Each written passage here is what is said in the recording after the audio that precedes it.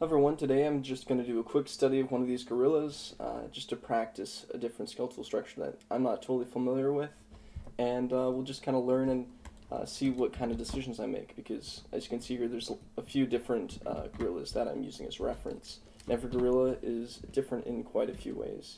Right now symmetry's on uh, the middle, so just be using that. I don't really care that I'm starting with the skew, but I'm going to eventually just kind of smooth things out and you know move things in the right place. Um, but you know, just having, yeah. So right now, just getting the overall shape, and uh, yeah, let's use the clay strips. I think this is like the the best way for having a controlled, um, just gradually adding mass. It's just yeah, best way, my favorite way. Uh, yeah, I guess it's all my opinion, but um, yeah, you can see like compared to uh, this dry brush, it's a lot more gradual which feels more natural. And it doesn't smooth things out like the, the clay brush. Yeah, here, just to focus on this, I'm just, um, yeah, I'm just getting the, I, I, I want to take inspiration actually from uh, kind of these, you notice there's like different expressions going on, and this face is quite a bit longer than these. And I'm kind of interested by that because um, when I think of a girl, I think of kind of like a rounder face um, and kind of angry. This is pr- pretty much what I think of, but I want to sort of capture um, yeah, more sort of uh, gentle uh, expression, sort of longer. You know, I, th- I think also seems kind of more gentle uh, because it's like, um, you know, you know, not as muscular or, I mean, yeah, maybe it is, but it's just like the overall shape kind of gives that that impression when it's longer. It's uh, you know, when you're length, I mean, you could be really tall and really muscular, but it's like uh, the uh, you know, it's uh, yeah, get what I'm saying. Just kind of going through with this. Let's see. Um, let's bring this out. Um, you can see, like you know, it's it's not the easiest for me to talk while sculpting, but um, you know, try my best, and then just I want this to be you know one take, so you can see me attacking this subject for the first time. So.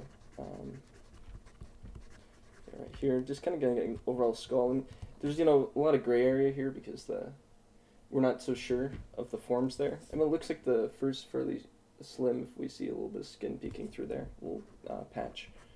Um, so we can kind of follow it, but it's a little bit thinner than it's going to appear because we might uh, do that with uh, uh do the hair with a particle simulation later on.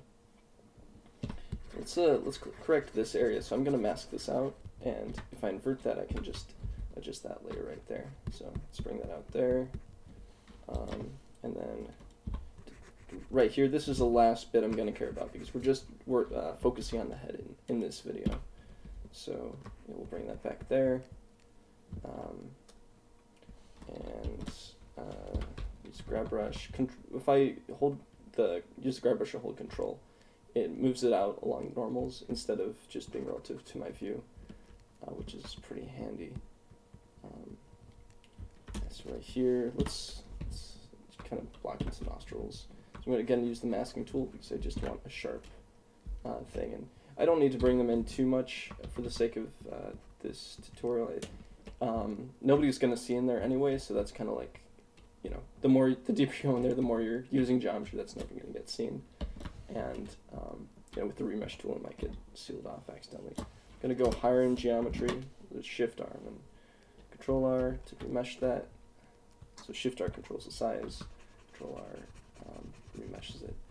And yeah, so I'm just uh, yeah, sort of refine the details on the nostril and um, yeah, giving, uh, giving this part the front.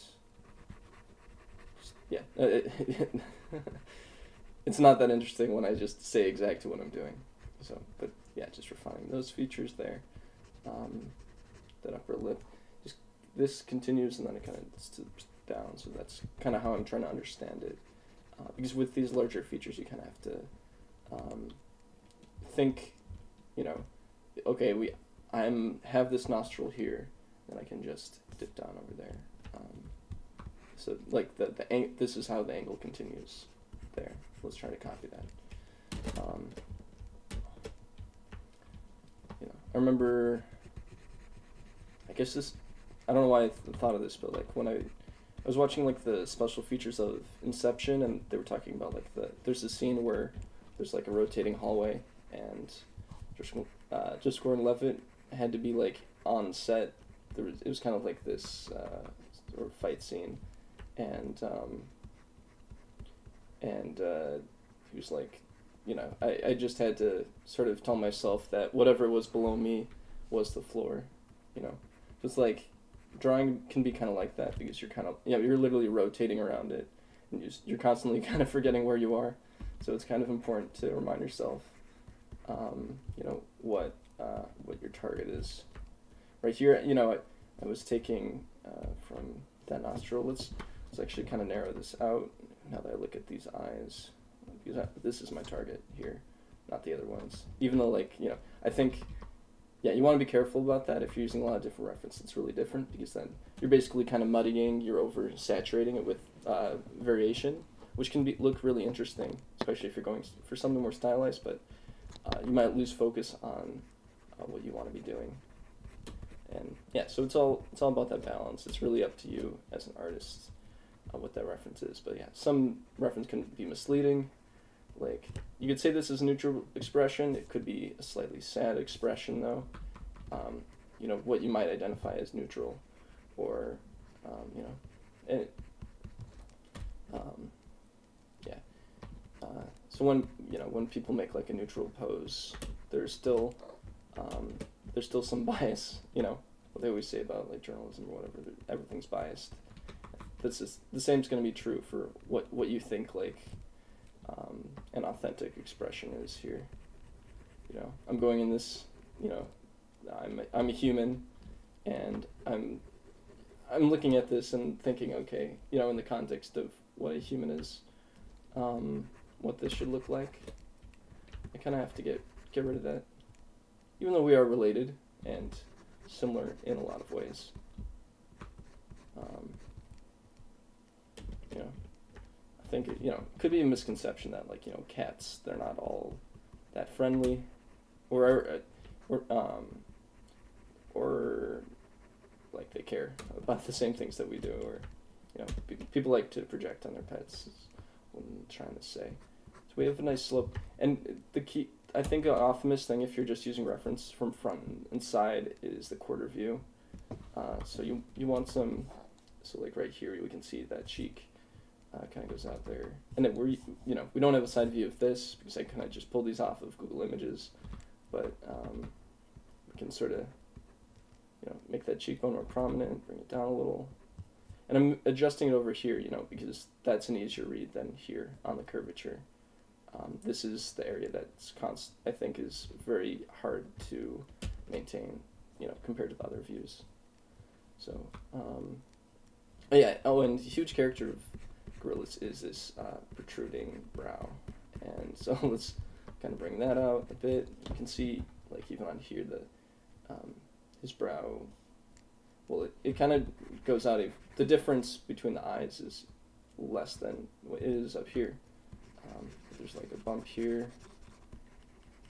Um, yeah, maybe we should have used some like skull reference to get a better idea of what this looks like I could, you know, if there's a lot of fur, especially, um, it's a way of getting images without the fur kind of misguiding the form. But usually, it's it's a clean contour over it. Just the the thickness in different areas can be a little misleading, uh, elusive. Yeah.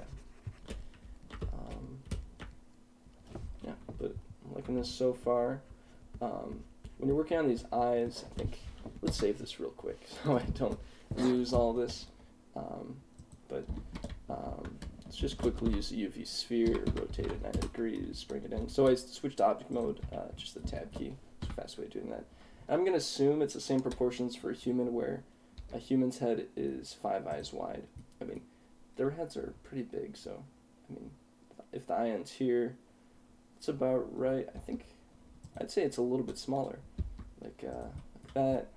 Let's bring that in there. Um, and then I could just copy one over and then you know give it.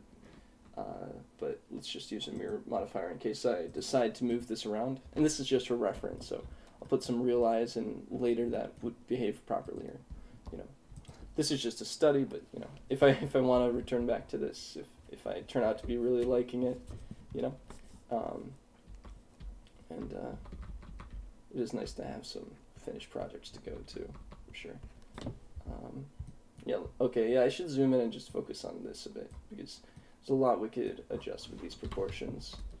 Um, so I'm going to bring that in and um, bring this down and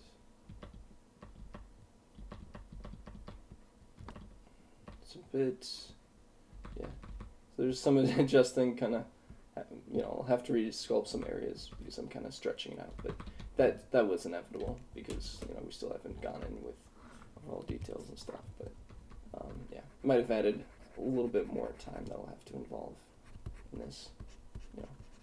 By not getting those forms just right in the beginning you know which pretty much just happened from using that the different reference.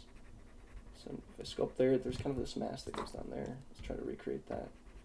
Um, yeah, and there's some interest and there's a lot of character that comes with the asymmetry.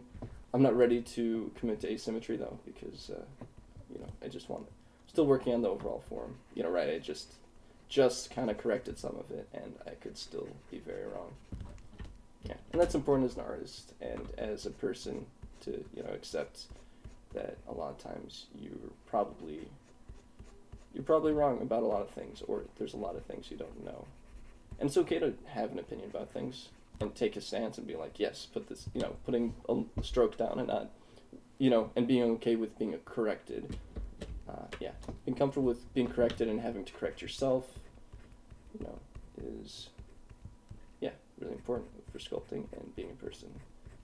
Um, not that I'm an authority on being a person or, um, well, yeah, very much with sculpting, but it's like I can sculpt, so I can say things about sculpting and um, I can talk, so I can say things, you know, freedom of speech, but, um, you know,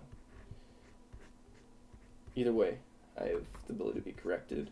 Please leave a comment uh, down below to, to correct me on uh, what I should be doing, uh, you know, what I'm doing wrong. Like, for example, these eyes are still too wide apart. um, yeah, so I'm going to move this in and Unfortunately, I in object mode I use the mirror modifier, so I can just uh, bring these in there to sort of match with that. And um, let's see, yeah, let's bring this this up quite a bit. Um, and like this isn't very smooth, and a lot of people like to like establish the planes of the face, like uh, you know having uh, flat faces so that you can read better what's going on. But um, in the case of this sculpt, I think, you know, I, I like to sort of polish it later and just sort of keep in mind, um, no matter, even if I had a flat plane, the, the overall face of that would be kind of vague. So um, I don't, you know, I think I would just add more time polishing something that's going to be polished later. Um, you know, this is a sketch. I'm trying to understand the form. Um, you know, if I yeah. But yeah, in traditional sculpting, I might be more into establishing those forms, and it does like prevent you from uh, creating mistakes later, which is valuable. So it's yeah, it's about what your goal as an artist is. If you just want to feel the thing, don't um, you you know get a get a good feel for the forms. Maybe don't worry about how polished it looks, you know, in the beginning but make sure you can understand what you're putting down. I mean, and I mean, yeah, sometimes you just, it's not, that's not really possible. If you're a beginner in three, navigating a 3D space, uh, you, you, might not be able to tell, but um, yeah, uh, yeah. So what's the advice there? Did I, um, yeah, just give, uh, yeah, do your best to, to understand your forms. And if you can't understand this, the more you do it, the better you'll just get a feel for it. I don't think that's gonna c- come just from like you know using the scrape tool and like you know flattening faces so you can read them better. You know, so. Um,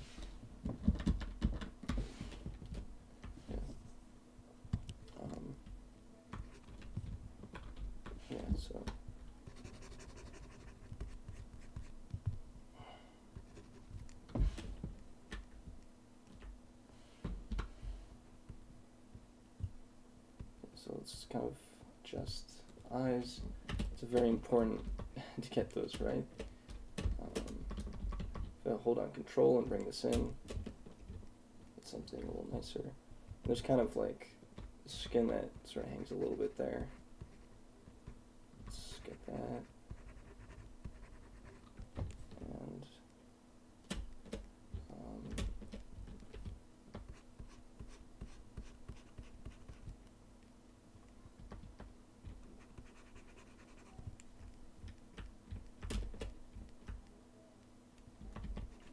mass right here.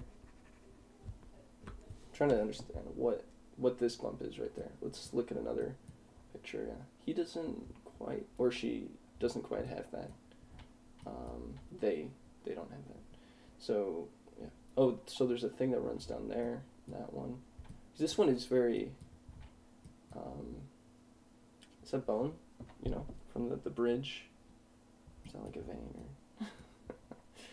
or? um, is what happens when you you- you're not familiar with anatomy, and that's okay.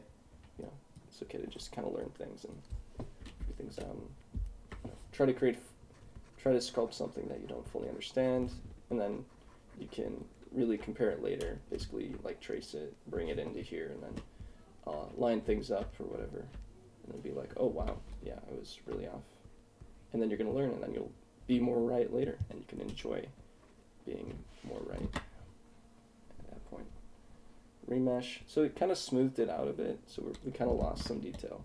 If you saw that when I remeshed it, so kind unfortunately have to uh, go to a smaller um detail. I don't want to kind of want like twice the amount of detail, so um, could do a divide by two. We currently have 545 verts. That's to keep in mind. I don't like to go over uh, a million, like on these streams because they could get pretty slow, and then like you're just watching me wait for it to to remesh, which you know it'll only take a few seconds, but like you know I guess I don't like awkward pauses. You might be able to tell that from my nonstop talking in this. Just like, yeah. I mean, yeah, I'm trying to give you guys good information, but um, yeah. Sometimes it's nice to take a pause to, to think about things. And then you'll come out saying something more thought through, eloquent. Yeah, draw a sharp brush, add more of that texture. Um, you probably don't want to start, you know, blocking wrinkles just yet, because we're still. how long has it been with this form? Um, yeah. Um, and then, yeah, let's. That. there's like these folds around it, so that's very interesting. Um, and then I- I'm probably not gonna. I'm not gonna bother with the ears uh, in this video. Or. Oh no, let me check the time. Okay, 18 minutes. Yeah, let's, uh, okay, let's do the ears. It's been 20 minutes, so I'm gonna make this a 30 minute. Let's go for that. So, um, so that's a mess here. I'm gonna use inflate. That's gonna push it out in all the directions, uh, which is kind of handy for giving it that mass that that kind of roundness that I'm going for there. Mask that out. And right here, invert that, I can inflate that area. I'm going to remesh it. That's going to remove the mask and also clean up that geometry that I have right there. Okay, yeah, so it's taking a little bit of time to load right there. So getting a lot. Okay, 2 million verts. Okay. Um, well, I said I wasn't okay with million. I I guess it's not so bad. Remesh is nice for that because unlike Dyntopo, it can handle a lot more geometry. Um, yeah, and then let's just yeah, add some mass there. That's probably too much. Let's bring it down, flatten it out, um, and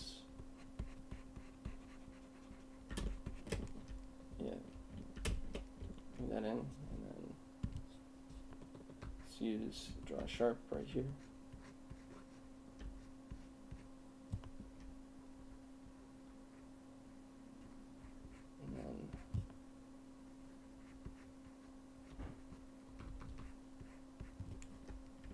So now I'm kind of blocking in details. Yeah, before I do that, let's do the last uh, established form, and that's going to be the ear here. So we want to get good placement on that. So I'm just going to use this for reference. No, it's a very different gorilla. It's not the best practice to, you know, but this is just a study. So hey, um, let's think about where it's gonna, the smallest point of the ear where it comes in contact with the, the head. So I think my own ear. So it's kind of long, it kind of, yeah. then there's a hole in there too. Um, oh yeah, so where there's going to be a hole, I'll remove the mask. So control uh, will remove the mask when I draw, if I hold down control. And yeah, let's invert that and use snake hook to pull it out because it's a little stronger than the grab brush. Um, yeah, let's keep this mask going and for as long as we can. So bring that down, bring it out. Um, and then yeah and it's yeah it's tricky getting like behind the ear here so I might do that uh, you know at the very end of this mask so I can adjust the overall shape and then get behind there um,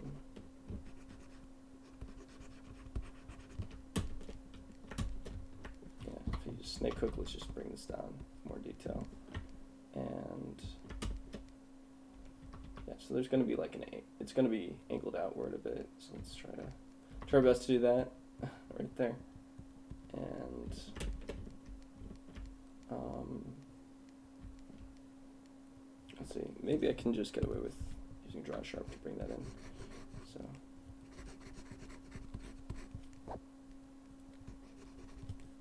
There. Yeah, we're running out of geometry there a bit. Let's see what we can do to get a little more shape. Control R, remesh. And uh, yeah, so it's looking pretty wobbly, but let's and let's try to clean that up a bit. It's been a little sloppy, just kind of blocking in forms, but yeah, let's clean it up. So there's kind of that sharp, this is the most prominent thing going on right here. Um, look at that, it's just the slope right there. Um, and then from this angle, like it's, because it kind of goes in there, there's kind of that occlusion, as you can tell. Um, goes in there.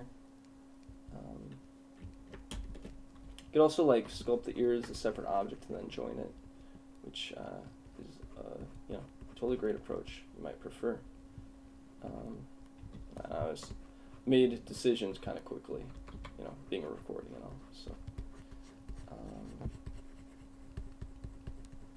yeah. So, there's kind of more of a cheekbone on this guy.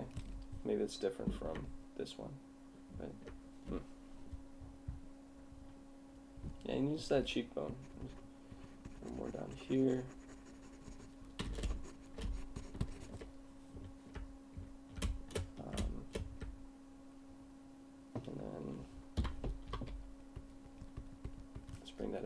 And then this should be flat right there. So actually let's use fill right there. It's gonna just flatten it out and you know, basically, you know, floods the area. It's kind of that equivalent of that kind of effect. Um, just draw that in there and then sharp right there and right there.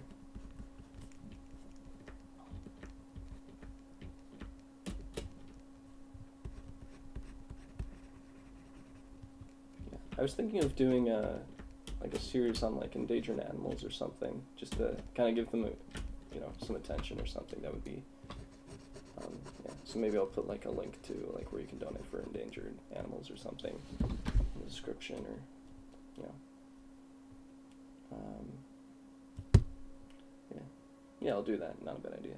So maybe I'll do more stuff like this. But yeah, pretty busy now, holiday season. So and uh, you know other background work. So it's uh, it's gonna, yeah, we'll see. Uh, but yeah, definitely do do more studies of animals. It's really interesting to, um, yeah, just all all nature. There's there's so much to learn, and there's yeah, so much beauty. I love Planet Earth. I mean the, not not just the planet, but like the the TV show, you know, where they talk about all that that beauty, right? Um, it's like I love this, and then there's the ear, which uh, needs some work, and I, I think I have to wrap this up pretty soon. Yeah, I've got about four minutes, so uh, let's let's bring this in right here, and um, if I just look at it from further away, you can see. Um, how will we have this? Well, this the top for one thing should be taller. I think. Yep. It's like it's kind of insulting that like I don't understand the shape of their skull. But can you imagine like a gorilla watching this and being like, "That looks so wrong." Like that's just we don't look like that. Know. But I think there's like a muscle here. We don't have that. We well, yeah, we kind of do. It's a heavy it's a heavy skull, so I guess maybe that's why it's so so big there. That muscle because we have those neck muscles on either side that kind of stabilize that. And then we have a little bump there. I imagine they would too. But yeah, ours is little, so I mean, it, yeah, doesn't seem makes sense to me. Um, and then oh, I accidentally used scale. They changed S to scale instead of smooth, but like the controls don't totally make perfect sense for scale at the moment. So much. I guess it's more consistent with the rest of Blender. That's probably why they did it, but um, not very useful for sculpting. I mean, yeah, we'll see. Um, there's kind of bump right here. Um, I'm thinking my own skull and sort of like, how would that be different uh, for a gorilla? Um, so it's like, you know, I'll be off if I only think about my own skull, but it's like uh, good to look for those things at least and think about how that might might be different. Um, is this uh, no? It's now it's too much. okay, so let's bring that down and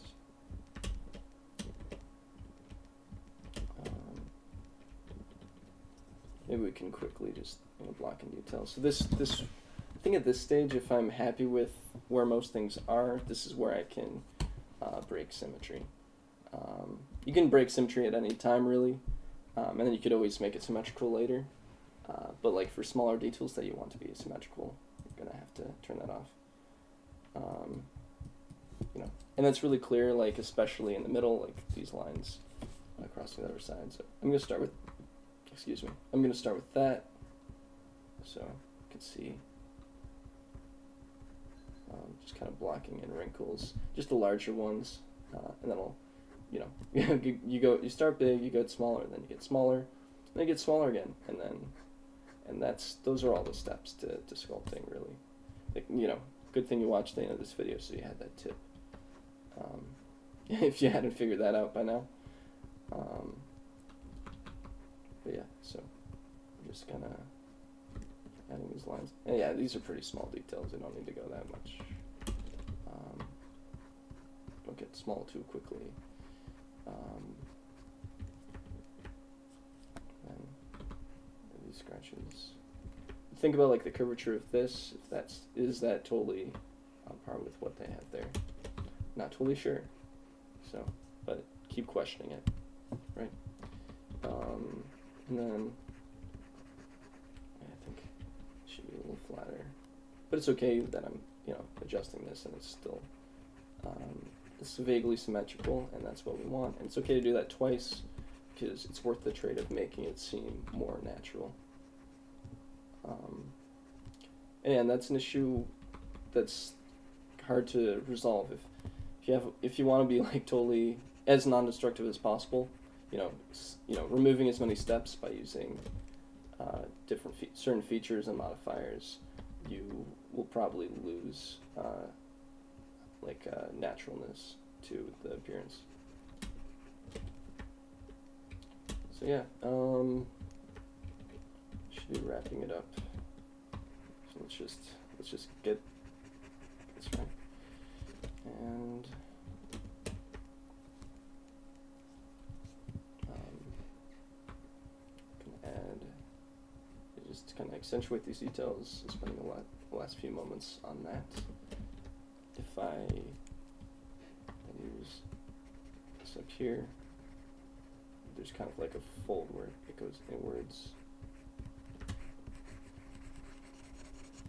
Yeah, in this area, maybe I won't, I can just quickly polish. I'm going to use the scrape brush, kind of flattens it, makes it uh, more of a surface, but um, whatever. Now hold on shift to smooth as well.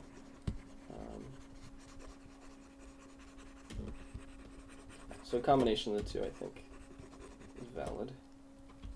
And then I might, you know, I could use the clay brush so when I sculpt over it, it's nice and smooth. But I typically prefer not prefer the clay strips brush, as I've mentioned, just because it's the change is more obvious because it's not smoothing while painting. Oh yeah, and now I have to do this other side caveat of symmetry.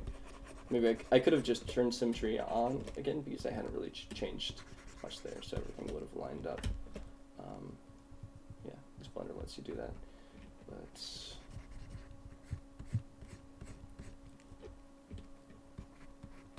And this this ridge continues. And this that area will be covered in fur, so we don't need to do too much there. Now we you know create more mass over there, so we always need to keep in mind if we're making big changes like that. Again, like yeah, you should wait until all your forms are in place before you um, break symmetry. But yeah. This is a quick sculpting video, so you're kind of seeing the effects of that. Um, and let's put that in there. Um, am I happy with this? Yeah, yeah, yeah, yeah, I'm happy. Yeah, it's good. It's just, I could do more, but um, I think this is enough for this video, so uh, yeah, thanks for watching. Uh, yeah, hope you liked what I what I had to share. Um, yeah, and you can comment, like, subscribe. Uh, you know, drill. Um, yeah, just want to keep people in the loop. You know, it's great to, to reach out as as many people as uh, as possible. You know, so um, yeah. Okay, okay. Just one more thing. Let's just let's just uh, some just some symmetry in the eyes, more natural. Okay, that's too much. oh boy. Gotten sucked into again. Okay, thank you. Please comment, like, and subscribe.